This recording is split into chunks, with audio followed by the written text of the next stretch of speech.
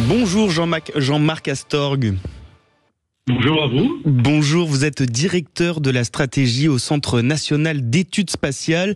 Alors la date du lancement a été fixée euh, mardi 9 juillet. Le décollage est programmé euh, pour 20h heure de Paris. C'est ce qu'on appelle un vol de qualification, Jean-Marc.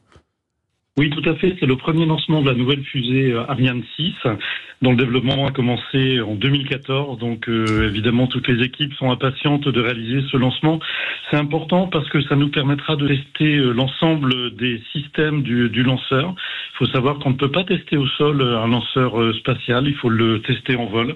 Et donc, on attend tous avec impatience ce premier lancement. Mmh. Vous le disiez, voilà, inaugural très attendu. Il faut rappeler, hein, il y a eu de 4 ans de retard, c'est ça? Oui, il y a eu quatre ans de, retard, ce qui est assez euh, habituel pour ce type de développement technologique. Il faut savoir qu'un lanceur, c'est un produit extrêmement, extrêmement complexe. C'est l'un des, produits euh, les plus complexes conçus par, euh, par l'homme. Et comme je vous le disais, on ne peut pas le tester au sol. donc, on est obligé d'aller au lancement. Et comme c'est un programme complexe et avec un certain nombre de participants au niveau européen, 13 pays qui participent, mhm. Eh bien, on voit bien qu'il faut mobiliser beaucoup d'équipes pour arriver euh, comment terminer un lanceur. Hmm, quelles sont les différentes phases du vol? À quoi va servir cette, cette première mission? Alors on va s'en servir euh, pour vérifier que tout fonctionne bien, mhm. euh, notamment une particularité d'Ariane 6 qui est de pouvoir rallumer l'étage supérieur, ce qu'on ne pouvait pas faire avec Ariane 5. Il faut savoir qu'on a développé Ariane 6 pour trois raisons principales mhm. réduire les coûts, dans un contexte de concurrence évidemment plus important aujourd'hui, euh, avoir plus de modularité avec deux versions d'Ariane 6, soit avec deux ou avec quatre euh, boosters, et puis euh, rallumer les tâches supérieures pour pouvoir lancer des satellites de constellation. C'est la grande nouveauté aujourd'hui.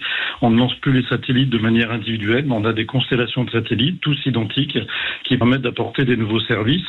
Et donc on va tester en particulier le rallumage de l'étage supérieur, ce qui serait une première pour le pour l'Europe, notamment avec euh, le couple d'ergol de l'étage supérieur qui fonctionne avec de l'hydrogène et de l'oxygène. On n'a jamais fait ça en Europe euh, aujourd'hui. Il y a très peu de nations dans le monde qui le font.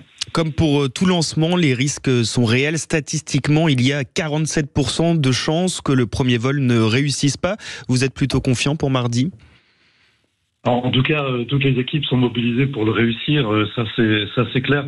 Euh, je pense que vos statistiques sont un peu pessimistes, mais un peu voilà, maintenant, maintenant, je pense qu'il faut aller au lancement. Le, la revue de qualification, c'est-à-dire le l'ensemble des experts qui se sont penchés sur les derniers dossiers, a donné des conclusions positives hier. Donc, on a le feu vert pour faire le lancement.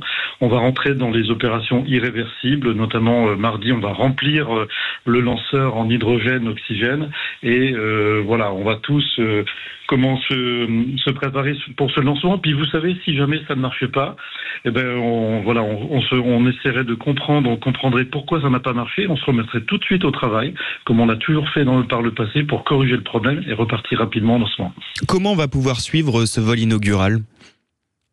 Sur Internet, euh, sur le site du CNES. Euh, vous pouvez le, suivre en direct euh, à partir de à partir de 19h, 19h30 avec les commentaires de, des, spécialistes, peut-être aussi à la télé. en tout cas, je pense que ça sera un événement mondial qui va venir en même temps que le match France-Espagne. Donc, il faut choisir entre les deux. C'est ça. Bon, il faut avoir deux écrans chez soi. Vous le disiez, hein, depuis le vol d'adieu de la fusée Ariane 5, c'était il y a un an, les Européens ne pouvaient plus mettre en orbite par eux-mêmes des, des satellites. Ariane c'est quoi l'idée? C'est de garantir la place de l'Europe dans l'espace? La première motivation, c'est d'avoir une indépendance d'accès à l'espace. On ne peut pas euh, dépendre d'autres nations euh, pour lancer nos satellites. Euh, l'espace est stratégique aujourd'hui, comment pour la défense, pour des applications de plus en plus nombreuses pour la vie quotidienne. Donc on ne peut pas accepter de dépendre d'autres d'autres puissances.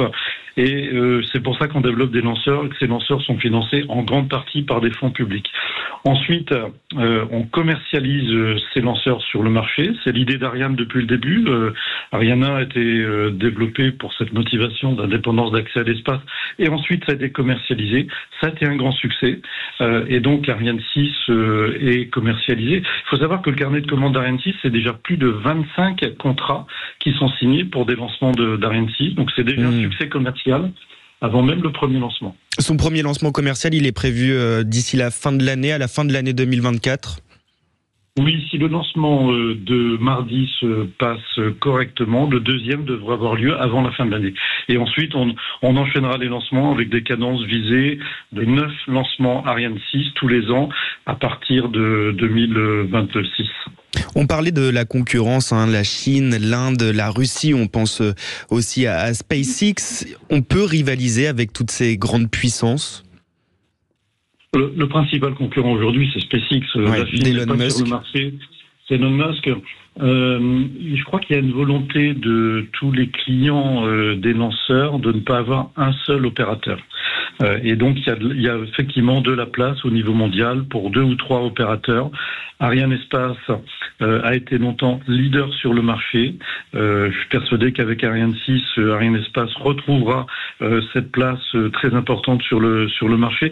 D'autant plus que SpaceX est à la fois un fournisseur de lanceurs, mais aussi un fournisseur de satellites. donc quelque part les, clients de SpaceX ont affaire avec lui à un concurrent. Et c'est pour ça que Ariane 6 est vraiment très attendu sur le marché par l'ensemble des opérateurs de satellites. Il y a un investissement qui est colossal. Ariane 6, c'est 4 milliards d'euros investis, c'est bien ça? Oui, le, coût du développement, c'est 4 milliards d'euros, financé par 13 pays. Euh, la France euh, ayant une part prépondérante, avec plus de 50%. Les lanceurs ont, toujours été une spécialité euh, française. Il faut savoir que RN6 est lancé aussi depuis la France, depuis le, centre spatial guyanais, en Guyane, en Guyane française.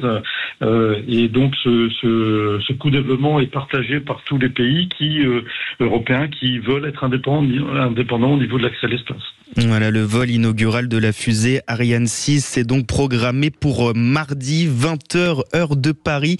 Un grand merci euh, Jean-Marc Astorg d'avoir été avec nous ce matin sur Sud Radio. Je, je rappelle que vous êtes directeur de la stratégie au CNES, le Centre national d'études spatiales. Merci à vous.